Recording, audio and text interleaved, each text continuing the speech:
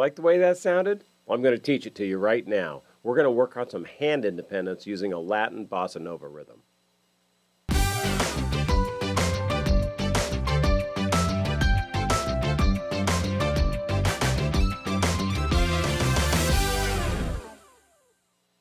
Hi, gang. Scott Houston here again. You know what I'm going to do today is to teach you not only what a bossa rhythm is, but more importantly, the bigger picture of why I'm using that as an example is I want to dig into something else I can try to help you to get hand independence. It's the old rub your head, pat your tummy issue, which everyone has problems with. And so don't feel funny if you, you have issues with that. It is by far the main issue that people have playing in the styles that I teach. Everyone always thinks, oh, I'm never going to remember the chords, or I don't have the dexterity, and it's not that. Oh, I can't read enough. It's not that. I always laugh when people say, what's the hardest thing about your class? And I always say, you know, it's all the things you think are going to stump you won't. What probably will stump you, and it's not a stumper, what's just going to slow you down, is hand independence. So let's dig into this.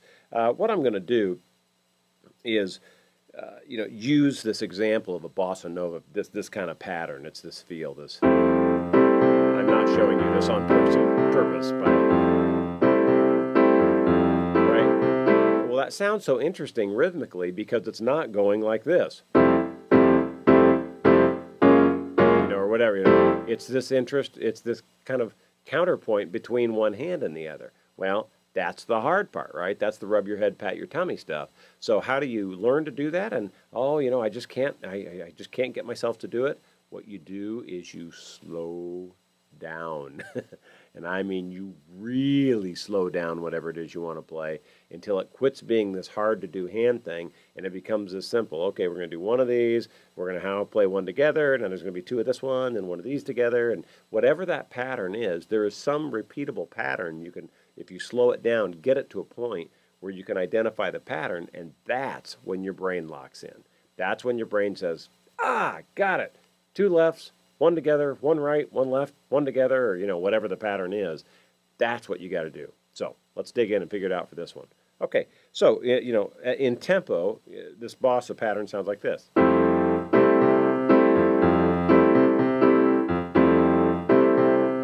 Here's what they are separately. This is a bass player in my left hand going.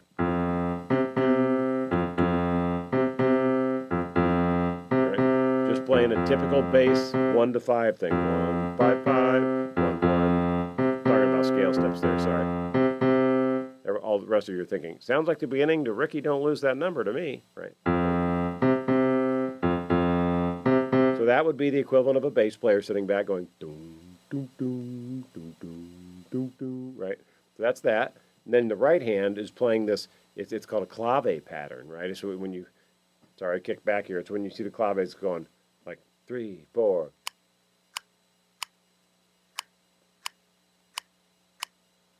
hmm.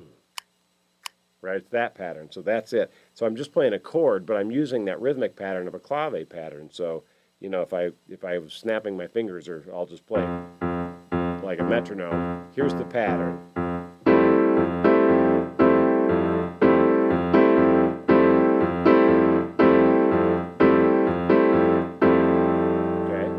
So now we got to put it together. Ah, oh, ah, right? It's not that hard. Here we go. So we're going to go like this. So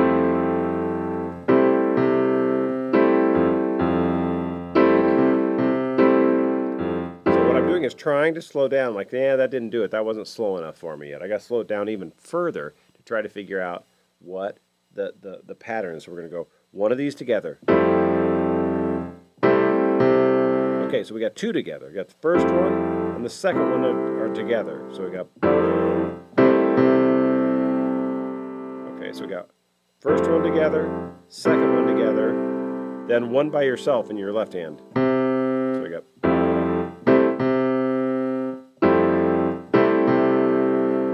So I'll just sit and do this for a minute.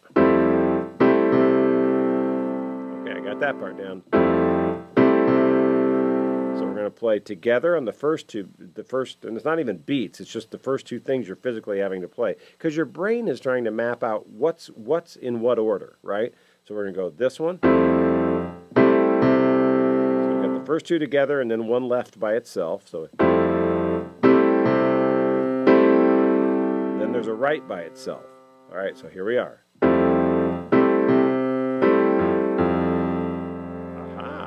Slowly but surely, we're tearing this down. Let's try that again. So we have together, together, then one by itself down here, then a right, then two left. So we have. So let's do that one just a few times. Here we go. Start it over. Really letting my brain right alone, two lefts.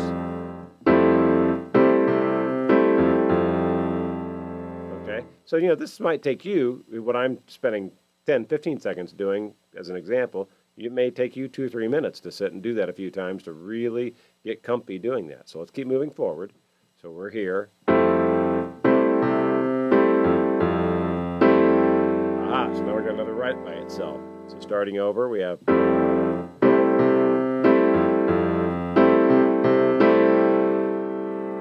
Oh, that's we're almost to the end of it, but here we go. So we go. Right alone, then the two lefts alone, and then another right alone right after it. So we have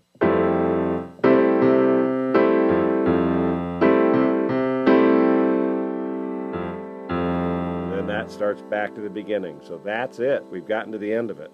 So really slowly, it's like this. Back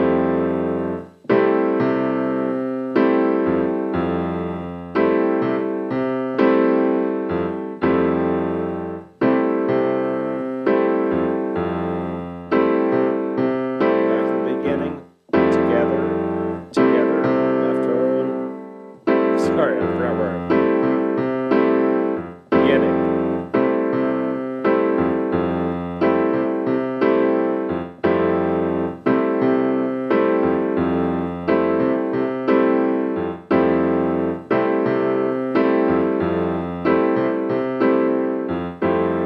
See what I mean? If you just go really slow, it's an interesting thing when you're working on hand independence things, and drummers really can connect the dots with this because it's a lot like that when you're trying to work out some new pattern in all four of your limbs. You normally just can't play it at all. It's not as though it's something that you slowly get better at. It's something that you can't do, you can't do, you can't do, you can't do, and then all at once you kind of break through the wall and you can do it. So it, when you learn how to do things like this, this is one case where you don't normally have this gradual increase. You do can't do it, can't do it, can't do it, can do it.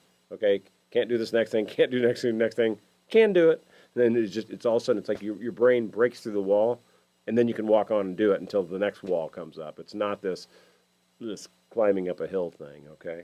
So, to, just to make one last little comment, so it doesn't get quite so monotonous, if you want to, you can play up a, a chord, uh, you know, move up a half step to. That's what I was doing at the beginning, just to make it sound interesting. This is kind of what you do, like at the beginning of.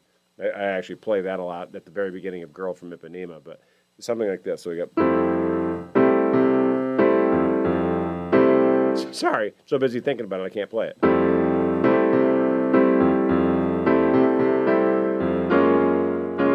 I just lifted everything up. I went from here to there. Then I'm just going to play one pattern up higher and then go back down.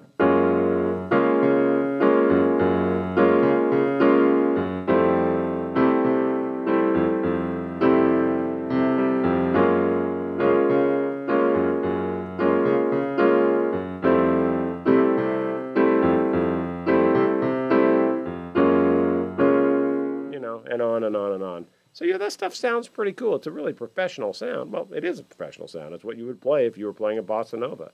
But again, the real reason I wanted to spend the time doing this, and I know this probably got a little monotonous because it was just this one thing, but the big issue for you on this video is understanding that the way you break through the wall when you're having a hand independence issue and you can't get the, the rhythms and things down right is you just you slow it down and not just kind of slow. I mean, you get down to the okay, one of these, two of these, two this one, then that one, then this one, then that one, and and it's the only way your brain can kind of cement what order everything has to come in. And then once it does, it's you know you don't have to keep walking. You can start jogging pretty easily because your brain knows what order everything has to come in.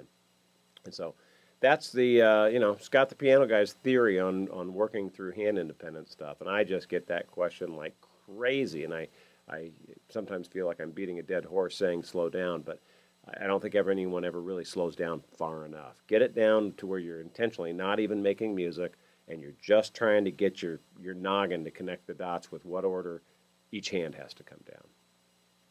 Hopefully that'll sink in. Hopefully that's a breakthrough. I hope so. And if not, don't let this scare you away. As always, keep having fun playing piano. It's the only way you'll stick with it. See you next time.